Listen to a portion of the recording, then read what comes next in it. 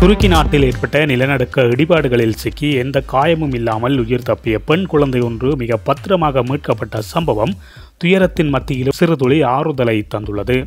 துருக்கி மற்றும் சிரியாவில் ஏற்பட்ட சக்தி வாய்ந்த நிலநடுக்கத்தால் உயிரிழந்தோர் எண்ணிக்கை இரண்டாயிரத்தி நானூறுவாக அதிகரித்துள்ளதோடு பத்தாயிரத்திற்கும் மேற்பட்டோர் காயமடைந்துள்ளதாக தெரிவிக்கப்படுகின்றது. இந்நிலையில் மீண்டும் தற்போது நிலநடுக்கம் ஏற்பட்டுள்ளது. மக்களிடையே அச்சத்தை அதிகரித்திருக்கின்றது. துருக்கி நாட்டில் இன்று அதிகாலை காசியாந்தெப் என்னுமிடத்தில் ரிச்டர் அளவுகோலில் ஏழு புள்ளி எட்டு என பதிவான அதிபயங்கர நிலநடுக்கத்தின் காரணமாக பல கட்டடங்கள் சேதமடைந்துள்ளதுடன் ஆயிரக்கணக்கில் உயிரிழப்புகள் ஏற்பட்டுள்ளன.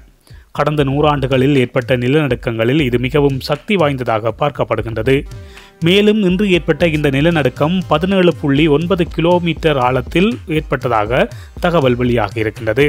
இது ஏழு புள்ளி எட்டு ரிக்டர் அளவில் பதிவாகியுள்ளதாக அமெரிக்காவின் புவி ஆய்வு மையம் கூறியுள்ளதாக ஏஎஃப்இ செய்தி நிறுவனம் தெரிவித்துள்ளது. அந்த நாட்டு நேரப்படி இன்று அதிகாலை நான்கு பதினேழு மணிக்கு நிலநடுக்கம் ஏற்பட்டது. நிலநடுக்கம் ஏற்பட்ட பகுதி துருக்கி சிரியா எல்லை அருகே அமைந்துள்ளது. இந்த நிலநடுக்கத்தால் கட்டடங்கள் குலுங்கி வீடுகள் பலத்த சேதமடைந்துள்ளன. இந்த நிலநடுக்கத்தால் துருக்கி மற்றும் சிரியாவில் முக்கிய நகரங்கள் உயிரிழப்புகள் மற்றும் பல்வேறு இன்னல்களுக்கு ஆளாகியுள்ளன. இடிபாடுகளில் சிக்கியுள்ளவர்களை மீட்கும் பணிகளில் மீட்பு படையினர் தீவிரம் காட்டி வருகின்றனர். மீட்கப்பட்டவர்களுக்கு மருத்துவமனையில் சிகிச்சை அளிக்கப்பட்டாலும் உயிரிழப்பு எண்ணிக்கை அதிகரித்தவாறே உள்ளது. அதிகாலை நான்கு பதினேழு மணிக்கு நிலநடுக்கம் ஏற்பட்ட சிறிது நேரத்திலேயே ஆப்டர் என்று சொல்லக்கூடிய வலுவான நிலநடுக்கம் மீண்டும் ஏற்பட்டதால் தான் உயிரிழப்பு இந்த அளவுக்கு அதிகரித்துள்ளதாக செய்திகள் கூறுகின்றன. துருக்கியில் உயிரிழப்பு எண்ணிக்கை தொள்ளாயிரத்தி பன்னிரெண்டாக அதிகரித்துள்ளது.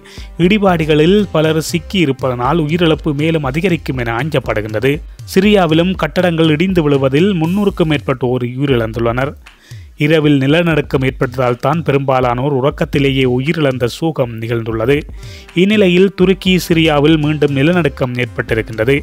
இலங்கை நேரப்படி மாலை மூன்று ஐம்பத்தி நான்கு மணிக்கு ஏற்பட்ட நிலநடுக்கமானது டிஸ்டர் அளவுகோலில் ஏழு புள்ளி ஆறாக பதிவாகியுள்ளது. துருக்கியின் மத்திய பகுதியை மையமாக கொண்டு சக்தி வாய்ந்த நிலநடுக்கம் ஏற்பட்டுள்ளதால் மக்கள் அச்சத்தில் உள்ளனர். துருக்கியின் எஸ்பிஸ்தான் மாவட்டத்தில் இந்த நிலநடுக்கம் பதிவாகியுள்ளது. இதனால் தான் உயிரிழப்பு மீண்டும் அதிகரிக்கலாம் என அஞ்சப்படுகின்றது. இதுபோன்ற தாயகத்தில் நிகழும் செய்திகளை உடனுக்குடன் தெரிந்து கொள்ள எமது சேனலை சப்ஸ்கிரைப் செய்து இணைந்திருங்கள்.